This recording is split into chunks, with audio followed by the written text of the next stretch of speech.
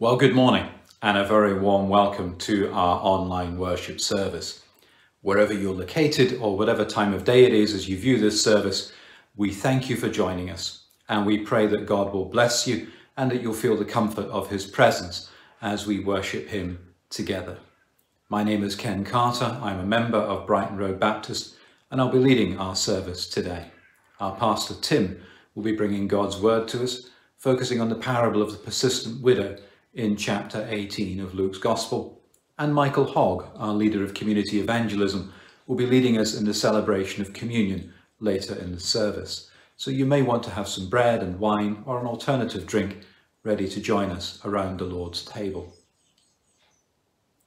Our call to worship this morning is taken from the first five verses of Psalm 99, which read, The Lord is King, let the peoples tremble. He sits enthroned upon the cherubim. Let the earth quake. The Lord is great in Zion. He is exalted over all the peoples. Let them praise your great and awesome name. Holy is he. Mighty King, lover of justice, you have established equity. You have executed justice and righteousness in Jacob. Extol the Lord our God.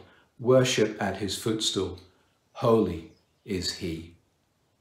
And so we respond in worship as we sing our opening song, Holy, Holy, Holy, Lord God Almighty, early in the morning our songs shall rise to thee.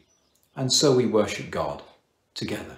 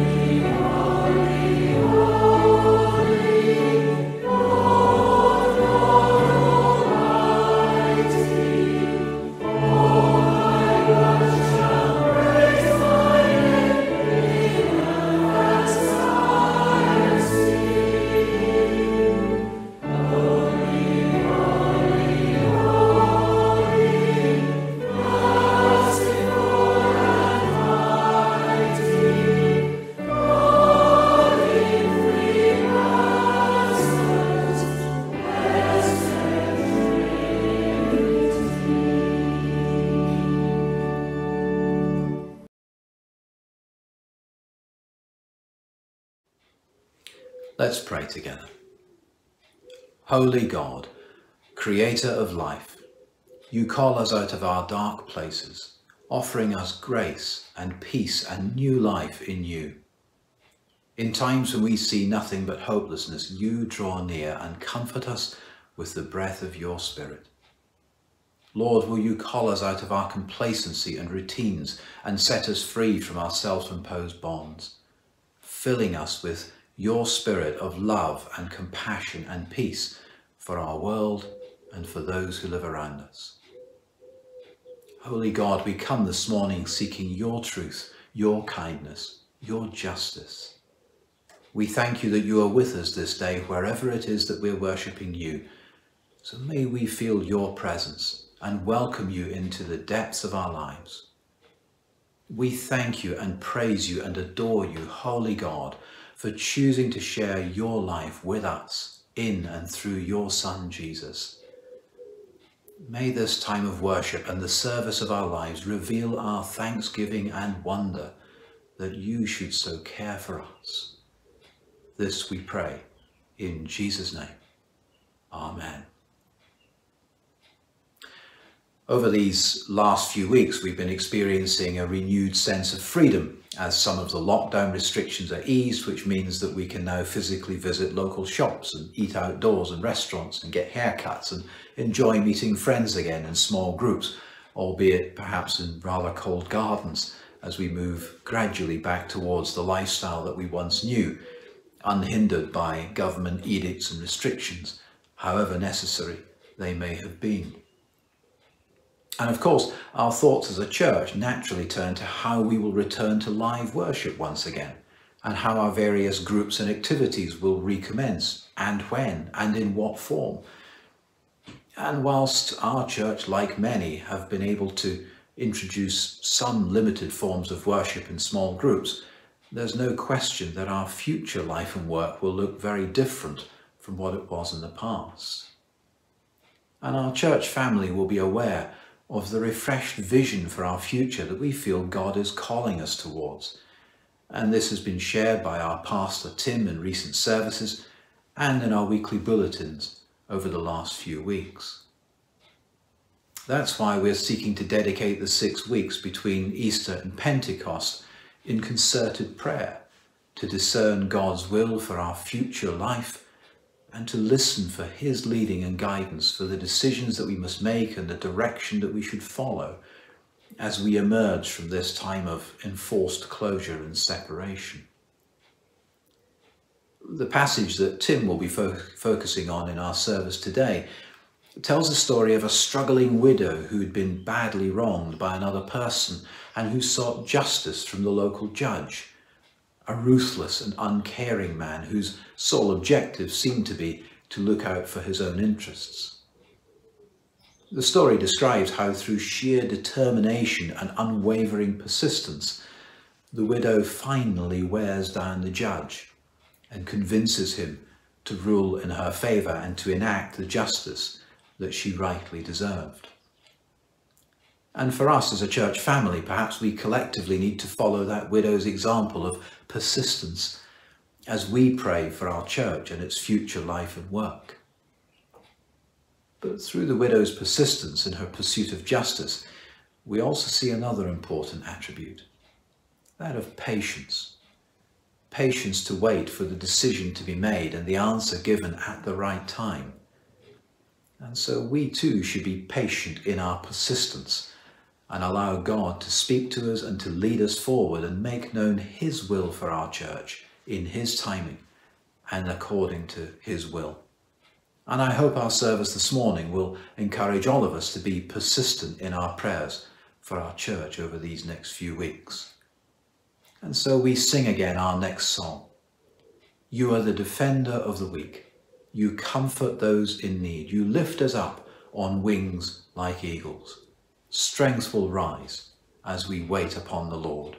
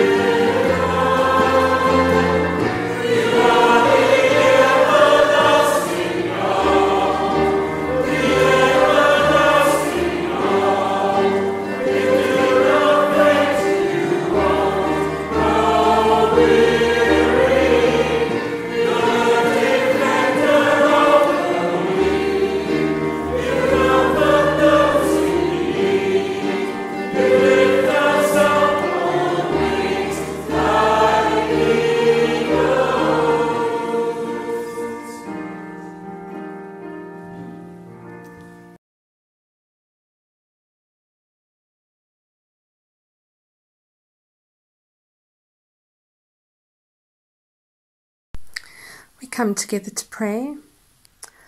Father God, we pray firstly for the leaders of our church.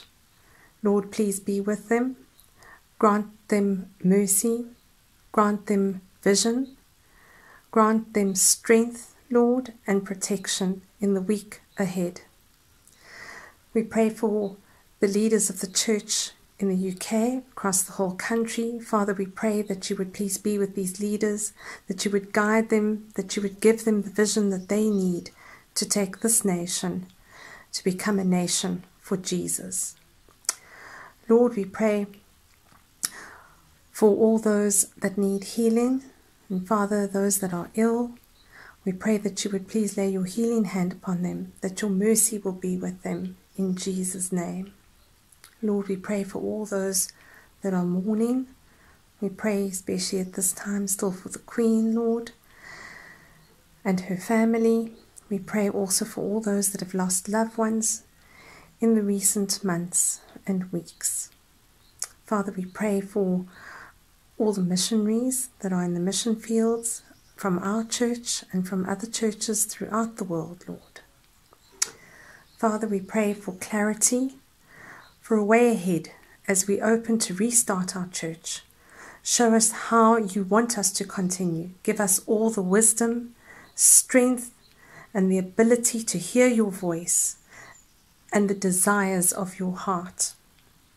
As we seek to connect with the world around us again, help us to be your hands, your feet, your heart, your ears. Help us to make your love known in the world around us. Lord, we just ask you to please be with every single person that is listening to this, every single person that is in our church. Father, just be with them, strengthen them in this week ahead. Father, give us a sense of community, give us a sense again of excitement and a passion for you, Lord. Fill our hearts, Lord, with the desires of your hearts. Fill our minds with that which you wish us to dwell on, Lord. Help us to be strong, Lord, in everything that we do for you. And we ask this in the name of Jesus. Amen.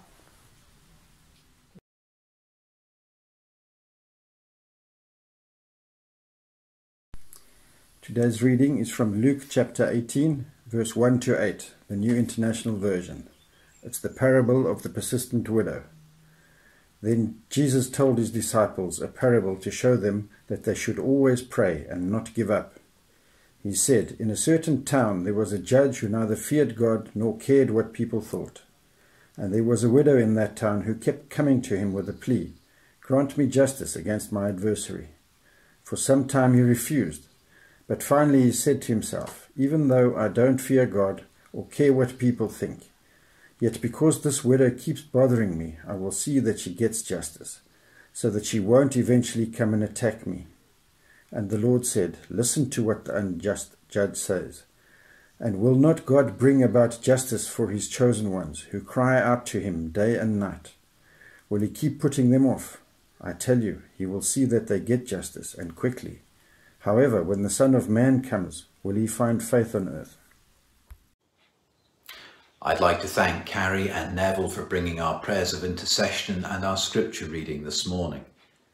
In a few moments, our pastor Tim will be bringing us God's word, but first we're going to sing again, a song that takes the form of a prayer and picks up on the theme of justice, which Tim will be exploring with us in Luke's Gospel.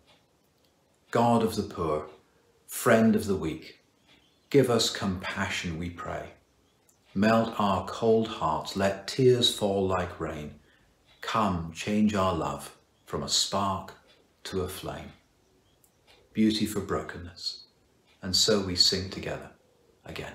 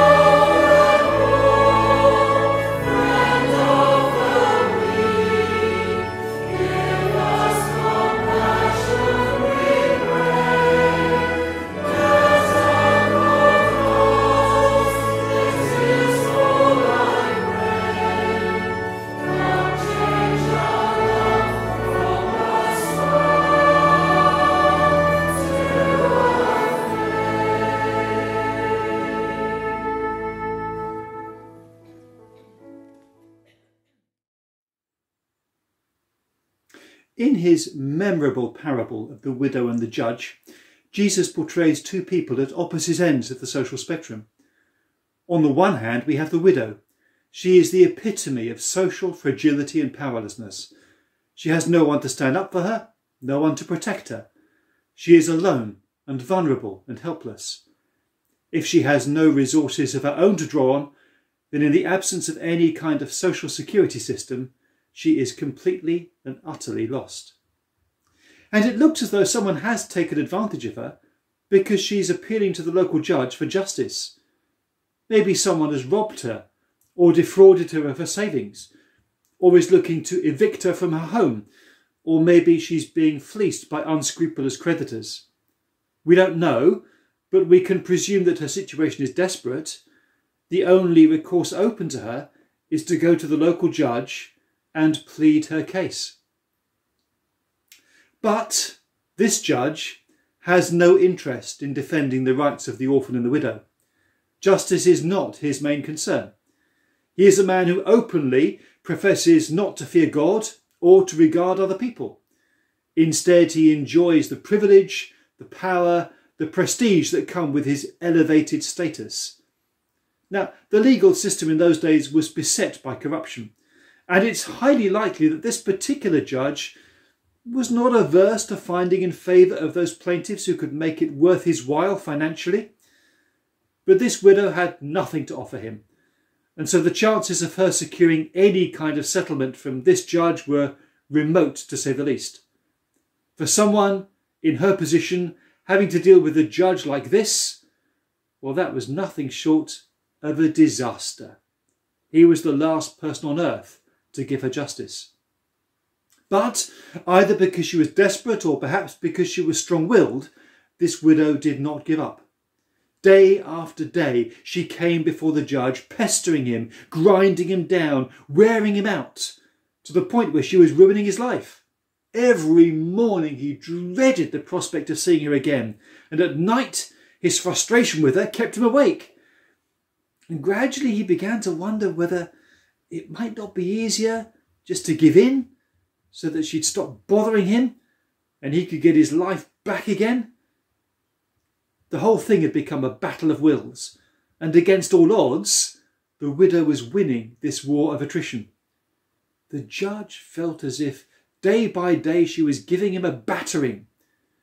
When he talks about feeling as if she's going to wear him out with her continual coming to him, the word used is actually quite a violent one. It was a term used in boxing for hitting someone in the face and giving them a black eye. So eventually, the judge gives her what she wants. Not because he is remotely bothered about the justice of her cause, he just needs to get rid of her. Now, says Jesus, take that as a picture of how prayer works. Jesus is not saying that God is like a corrupt judge who has no concern for justice, but the disparity between the widow and the judge is comparable to the disparity between us when we pray and the God who is the judge of all the earth. God has all the power and we have none. Some people struggle with the idea of prayer. They ask, why should God be bothered with my requests? They have this view that God is far too high and exalted and inscrutable and inaccessible for their prayers to carry any weight with him. What chance do we have? About as much chance as a widow with a corrupt judge. But Jesus says, look at the widow in the parable. She never gave up. She carried on and on and on, day after day after day, until eventually the judge gave in. And Jesus uses a teaching technique of arguing from the lesser to the greater. If a powerful, corrupt judge eventually gives in to the persistent pleas of a helpless widow, how much more is God going to take account of the cries of his people who petition him day and night for justice? Unlike the judge in the parable, justice is at the centre of God's heart. And unlike the judge in the parable, God is concerned for his people in our weakness and our vulnerability. So pray, pray, Keep on praying. Don't give up. Jesus invites us to, to eyeball God, to challenge God to a staring match. Who's going to blink first? Make sure it isn't you. If the widow can secure justice from a corrupt and unjust judge by her persistence, then how much more should we persist in prayer until God takes up our cause? If something really matters to you, don't stop praying about it. As a colleague of mine once said, prayerlessness is practical atheism. So think of that widow and give God no rest until you secure some kind of answer to your prayers. Not that Jesus is writing us a blank cheque, inviting us to badger God for whatever we want. The widow in the parable was hungry for justice. And when Jesus draws out the meaning of the parable, he talks about God bringing justice to his chosen ones who keep on at him day and night. When we pray about justice, well, on a global scale, there's enough to keep us praying 24 7. And let's not forget as we pray that we have an immensely privileged position in the West. And so we need to ask, in terms of climate change, in terms of world poverty, in terms of fair trade, how is God calling you to turn your prayer into action, to change your lifestyle, to play your part in making a positive difference? And let's not forget that if we turn a blind eye to the injustices of the world, if we shrug our shoulders and say, well, it's not my problem, then we are aligning ourselves with the corrupt judge in the parable who neither feared God nor respected anyone else. When we pray, we are praying to the God of all the earth who wants to put his passion for justice at the centre of our hearts. So, praying for justice is far bigger than praying for our own personal wants or needs. But that's not to say that our wants or needs don't count. The widow is bringing her own personal appeal to the judge, and we are encouraged to bring our own personal pleas to God as well, either for ourselves or for those who are close to our hearts. But let's recognise that what we want is not the same as what we need, and it's not the same as what is right either. But when, like Abraham, we appeal to the judge of all the earth to do what is right, then we can be sure that he hears us. And we mustn't give up. As one commentator put it, ceaseless praying is indispensable. You may have heard of the acronym PUSH, which stands for Pray Until Something Happens. And for a while, wristbands with push on them were quite popular. I like the phrase, pray until something happens. It sums up the call to persistence which lies at the heart of this parable.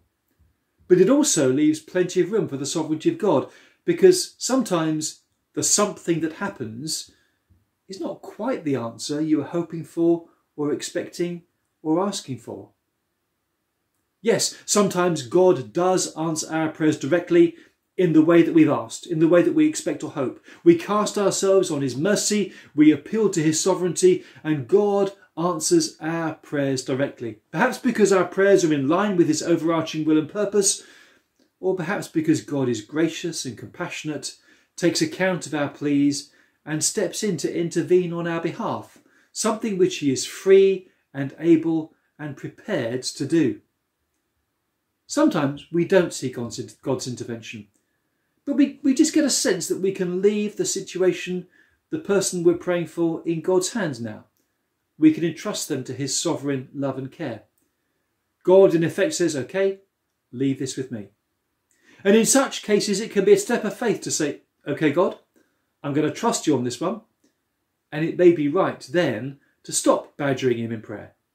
That's, that's not the same as giving up. That's about believing that God has told you He's going to deal with it and trusting Him for an answer. At other times, we may find that God steps in to resolve the situation in unexpected ways. We ask for X, but get Y instead. The classic example of this is the prayer said to have been found in the pocket of a Confederate soldier killed in the American Civil War. I asked God for strength, that I might achieve. I was made weak that I might learn humbly how to obey. I asked for health, that I might do greater things. I was given infirmity, that I might do better things. I asked for riches, that I might be happy. I was given poverty, that I might be wise. I asked for power, that I might have the praise of men. I was given weakness, that I might feel the need of God. I asked for all things that I might enjoy life. I was given life that I might enjoy all things. I got nothing that I asked for, but everything I'd hoped for. Almost despite myself, my unspoken prayers were answered. I am among all men most richly blessed.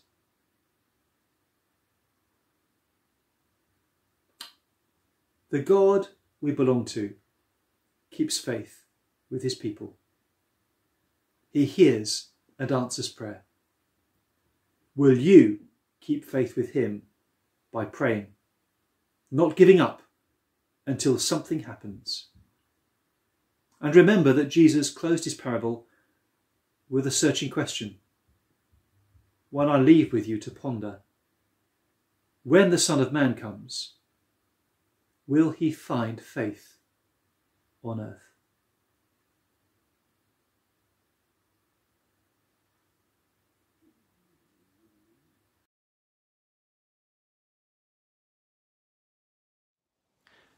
First Peter chapter 2 and verses 21 to 24 include these words.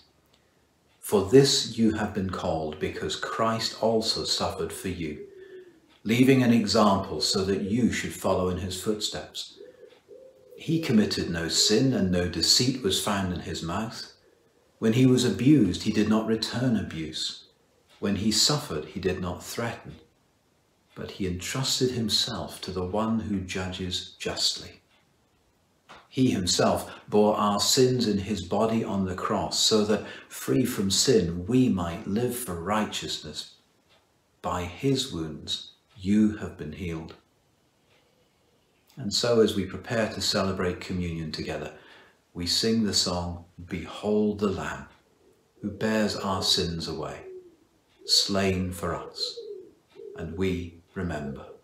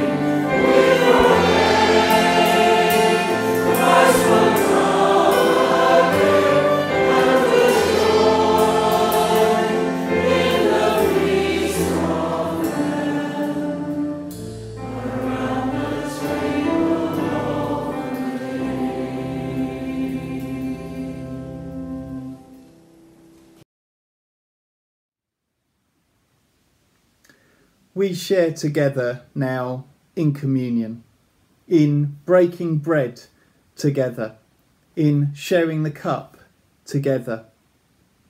Wherever we are, participating online, we join together in the presence of God and by the Spirit of God and in the name of Jesus Christ, Son of God. Grace and peace to you in the name of God Almighty, Father, Son, and Holy Spirit. You may be joining by yourself or you may be with others in your household. The Lord Jesus invites us to participate. We come as we are. We remember together all that God has done for us through Christ's death and resurrection. We remember his promise to return. We are conscious of our need for forgiveness and the indwelling of his life. So let us pray. Our loving Heavenly Father, we thank you for the gift of your Son, the Lord Jesus Christ, for his death upon the cross and your raising him to life again.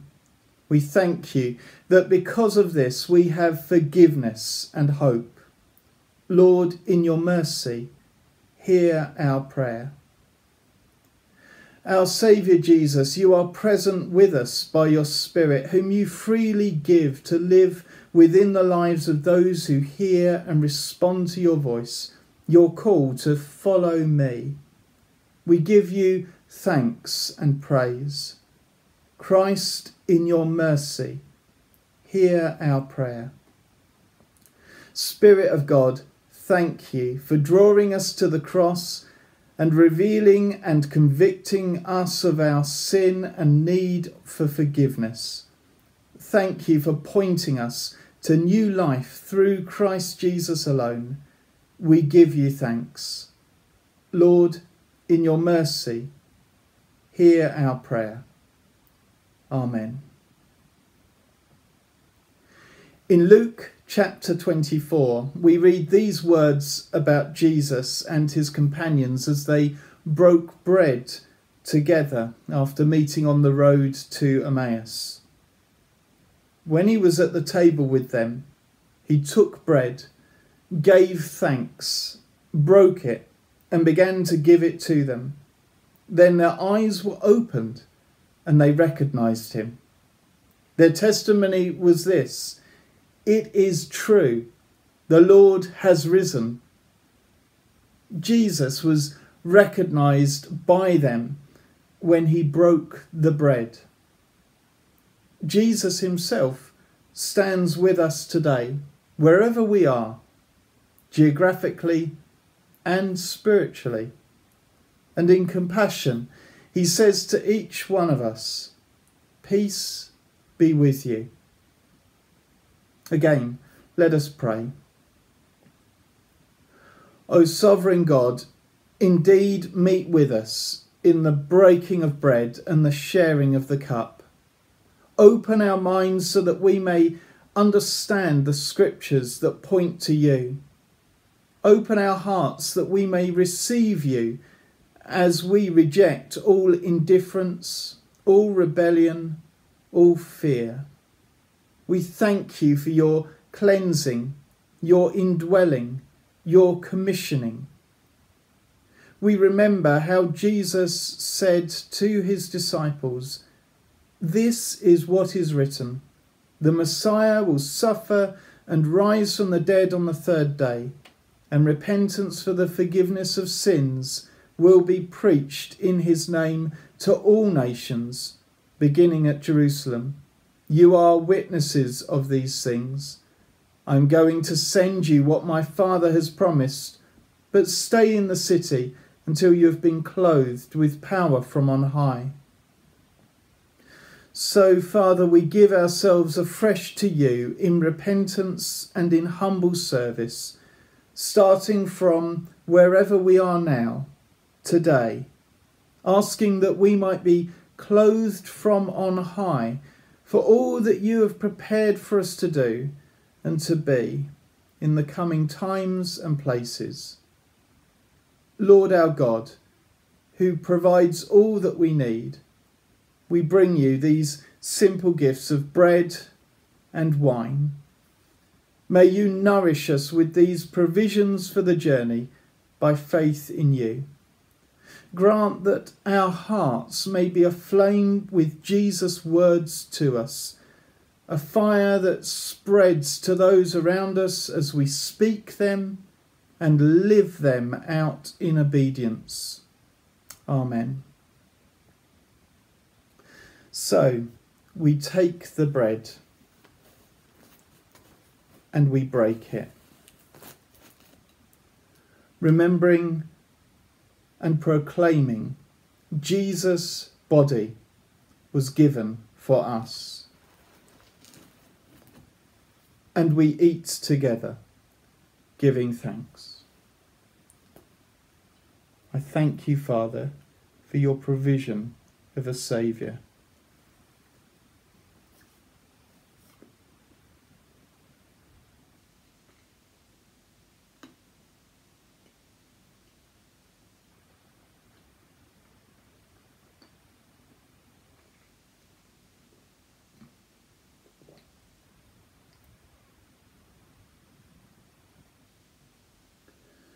We read how after supper Jesus took the cup, saying, This cup is the new covenant in my blood.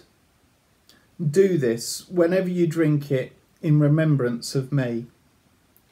For whenever you drink, uh, whenever you eat this bread and drink this cup, you proclaim the Lord's death until he comes. So we drink together, giving thanks.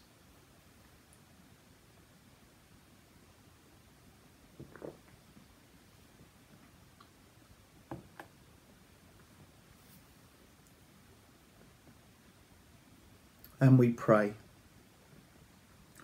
Lord of life, we thank you for Jesus and him crucified and raised to new life thank you for his appearing to his disciples out on the road and when they were in confusion and despair, and also appearing behind closed and locked doors when they were fearful and doubting.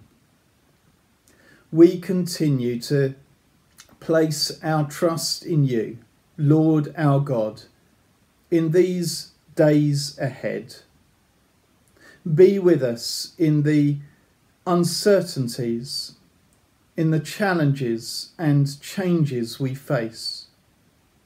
Be with us in the highs and the lows, in the glad times and the sad times, when we feel confident and when we are struggling. Have mercy upon each one of us and upon us together as church for we cannot go forwards in hope without you. Bless us and make us to be a blessing to all around us. In Jesus' name. Amen.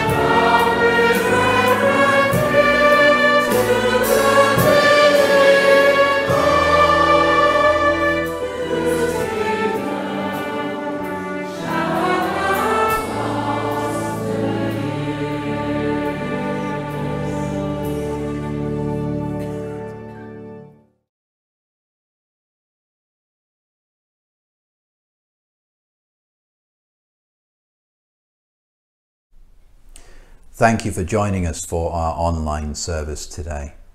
Whilst we've been kept physically apart, we hope that you've truly felt part of God's family as we've spent time in worship together. And so we conclude our service with these words of commission. Go now, awakened to the voice of God, who speaks in His word and His world. As you leave this time of worship, be listening amid the noise of everyday life. Be persistent, for the one whom you follow is not dead, nor are his teachings and his promises. Do not get discouraged. Keep asking, seeking, knocking, for times of receiving and finding and opening will come. Christ Jesus is alive be alive in Him, His word written upon your heart, always there. Amen.